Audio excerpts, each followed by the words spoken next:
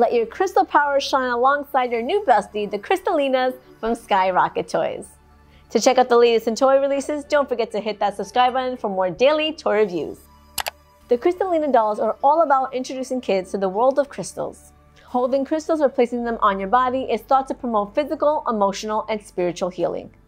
This is what Skyrocket Toys is trying to introduce kids to with their new dolls. There are two to collect, Amethyst and Aventurine.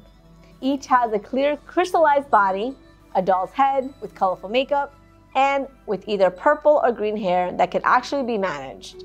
Each one comes with a stand, crystal hairpiece, and an amulet that changes color. There are 10 aura combos.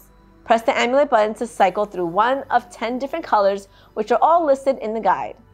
Each Crystalina sprite has a super power aura. Just shake the sprite for several seconds to display it. When it comes to the shared aura, just note that 1 through 4 are unique to your particular doll. Once you pick the aura color you want, magically pass it to your amulet.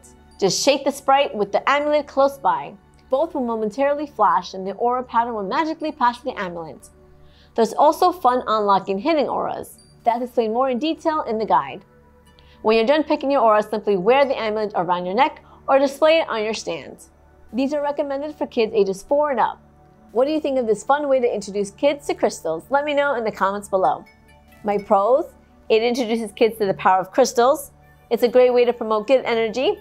Kids will have fun with the lightning magic, and you can wear the energy amulet around your neck.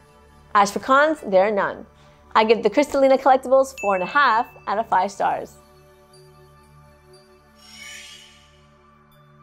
Now thanks so much for watching. Don't forget to subscribe and check us on TikTok at The Toy Authority.